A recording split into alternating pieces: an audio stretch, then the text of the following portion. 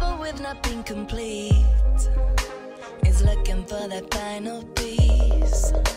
I thought I had it in the glass, but things change and you can't look back.